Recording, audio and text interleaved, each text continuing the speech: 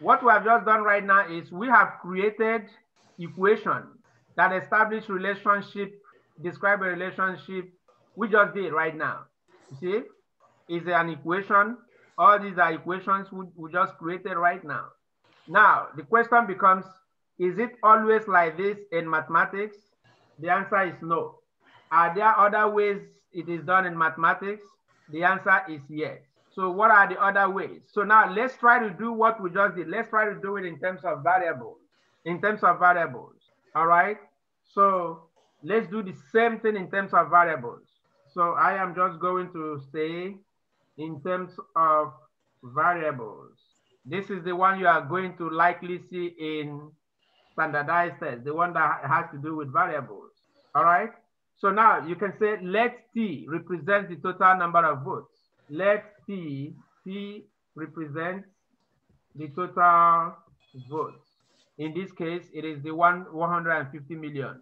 You can say let B represent Biden. And you can say let D represent Trump, like in Donald. Okay? So now, in terms of uh, the variables that I gave, so what is the equation that will represent the total number of votes? In terms of variables now, create an equation that will represent the total number of votes. How do you write the total number of votes in terms of variables? Hello guys, wake up. Let's go. B, B plus D equals T. Yes, it is. So the total vote is going to be B plus D is equal to what? T.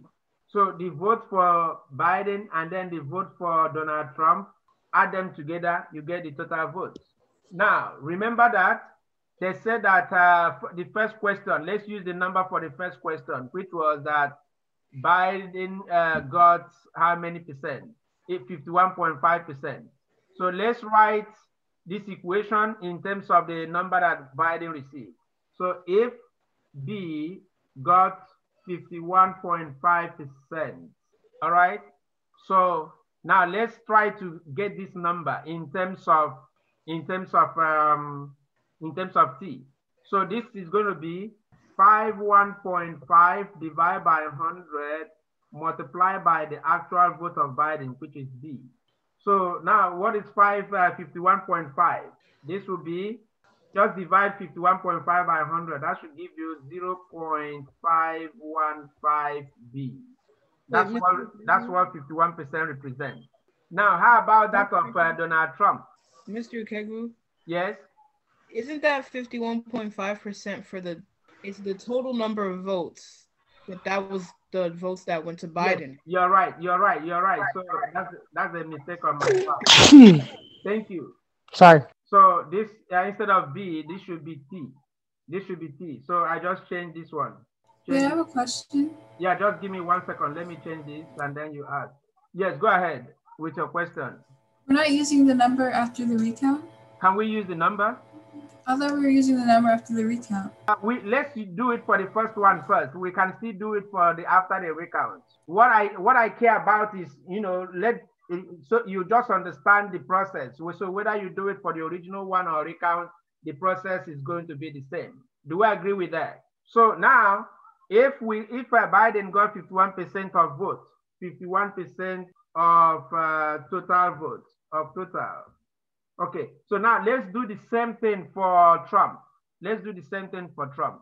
So now remember that the total total for Trump is okay. No, okay, no, no, no, no, no. Let's instead of this, let's do another thing. Let's just substitute this number back to the equation. So we are going to get 0.515t plus d equal to t. So how can you solve for d? Okay, so you solve for D by subtracting uh, 0.515T on both sides. So you will subtract 0.51, 0.515T minus 0.515T plus D equal to T minus 0.515T. So this crosses out this side. So this will be the equation D is equal to T minus 0.515 T. This will be the equation for Donald Trump's votes. All right. So you see, we, we are able to, with this now, we are able to create an equation for Donald Trump based on the value of um, Biden. Any questions so far? Any questions so far? No. All right. So now, um, if we substitute the numbers, if we substitute the numbers, it's going to give us the value. You want us to substitute the numbers again? Just put 1 million on T. No, not 1 million, 150 million, 500. And then you come here and minus it with whatever you have here. That should give you the value for D. If you want, you we try it. If you want, we can move on. Now, look at this equation. Look at this equation, the one that represents that of Trump.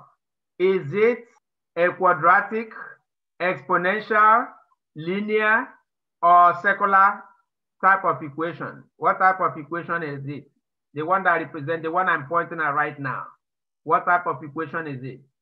Based on what you know about equations, what type of equation is that? Is it, let me give you the options. Is it quadratic? No. Is it um, exponential? No. Is it linear? Is it circular? I think it's linear. You think it's linear how? Explain. Um, when the first linear equation that or fun yeah equation that comes to mind is y equals mx plus b. Okay, y equal to mx plus b. Yeah, go ahead. You can use that format to kind of organize this equation for Trump's vote. Okay, uh, your first name, please. Laurel. Laurel, okay, thank you. So Laurel say you can use this format to organize, you can use this format to organize the Trump vote. So in that way, you see, let me let me kind of um, link kind of what she's saying, link T to X, and then what else? You can also link uh, this T to B. All right, so you can do it in this way, equal to negative 0 0.515 T plus T equal to D. All right, so in that case, Y is equivalent to D, and then M is equivalent to negative 0.515, and this T. It just happens that it just happens that the value of T and T, this, and this is T. T is equivalent to B. This, this particular one is equivalent to B, the lowercase b, not uh, uppercase. Um, so that's a linear equation. Thank you. That's a linear equation, this one. So it's a linear equation. So now that takes us to